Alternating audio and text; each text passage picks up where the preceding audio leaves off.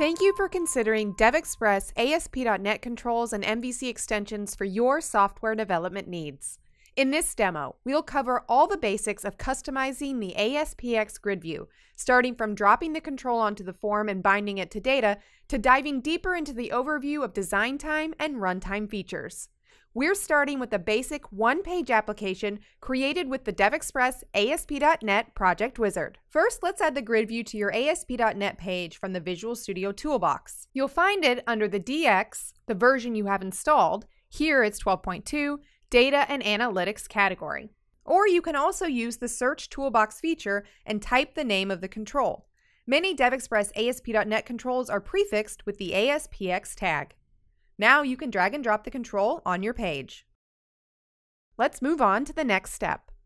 To data bind it, click the Grid View Smart tag and choose the New Data Source option. You can data bind to any of the standard Microsoft data sources, DevExpress data sources, and anything that returns an IEnumerable interface. Select SQL Data Source and click OK. Let's create a new SQL connection. I'll connect with my local SQL Server Express database and select the Northwind database. Then save the connection. Now from the products table, let's select the product ID, product name, unit price, units in stock, units on order, and discontinued fields. Next, click the Advanced button and check the Generate Insert, Update, and Delete Statements checkbox. This generates the SQL statements that will allow the grid to modify the database records. Then click Next, test the query, and click Finish. And that's it. We now have a new SQL data source that is bound to the grid view in about a minute. So let's take a look at this in the browser. We have a beautiful and functional grid control that fits easily into an existing ASP.NET project. The grid allows you to instantly page through the data using the built-in pager.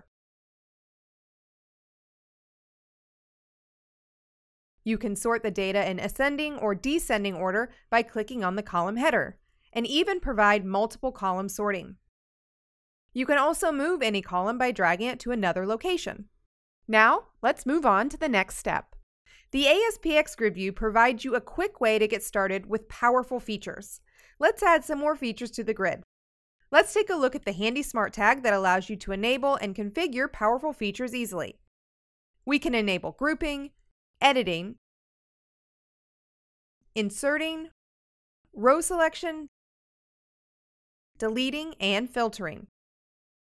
The Grid's UI is automatically adjusted for you as these features are enabled. Next, let's explore the Columns editor. This dialog allows you to customize the columns in detail.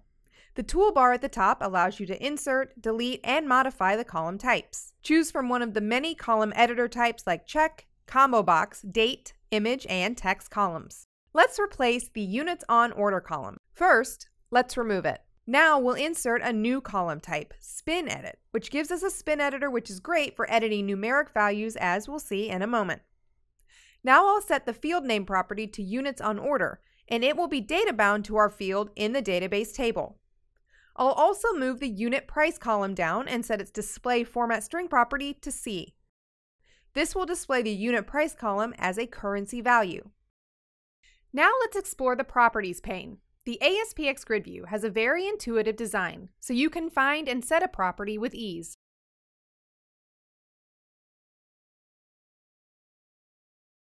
For example, the Accessibility Compliant property helps you to set the grid's accessibility feature.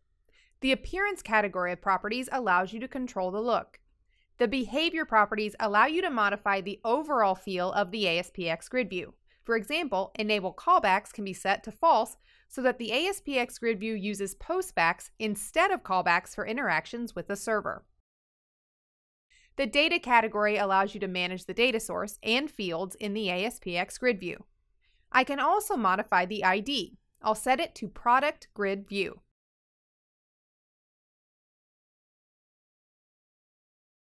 The style properties allow me full control over the look of the ASPx GridView styles in case you want to modify or enhance one of the built-in themes. And the settings category lets you control many different aspects. For example, the settings text property lets me change or add specific text. Here I'll set the title text to product information, and to display this title, I'll set the Show Title Panel property to true. Under the Settings behavior, I can set the Allow Focused Row to true. This will allow the end user to select a row by clicking it. Let's have the grid calculate for us a couple of total summaries about the data. Summaries are simple to add. First, let's show the footer area so we have a place for the summaries to be displayed.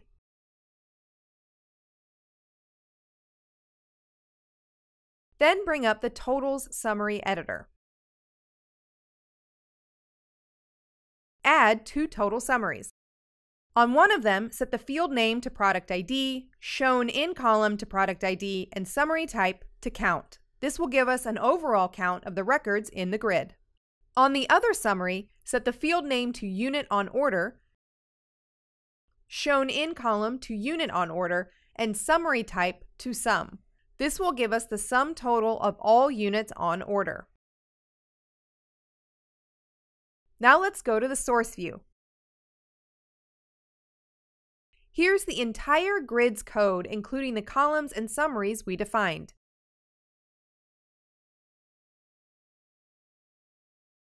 You have access to the Smart Tag from the source view too. And you can set up the ASPx grid view the same way you can from the designer. For example, let's say I want to set the width of the grid. As I begin to type, I get IntelliSense, which shows me the available properties. Now I can set the width to 100 pixels or to 100% so that it'll fill the width of the element it's located in.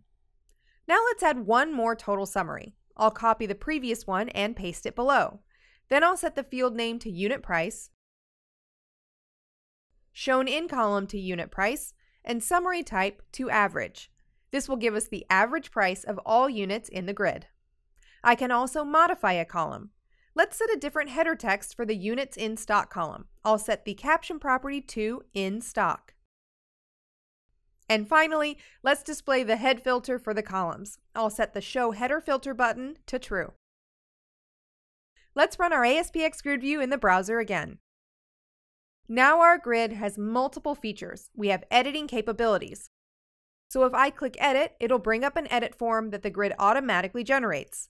And because we recreated the Units on Order column using a spin editor, we now have these nice buttons we can modify the value with using either the mouse, the keyboard, or manually entering in a value.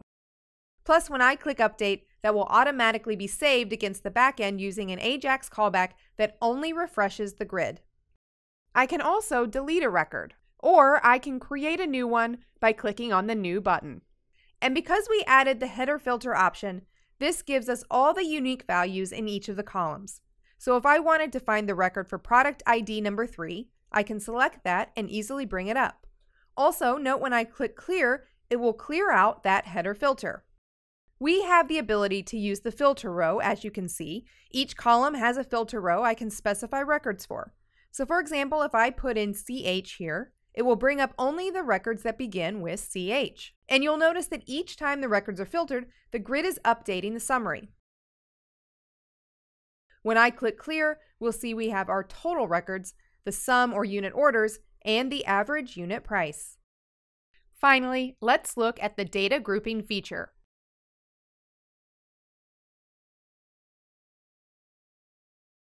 If I want to find only discontinued items whose units on order are zero, the ASPx grid view lets me find that quickly.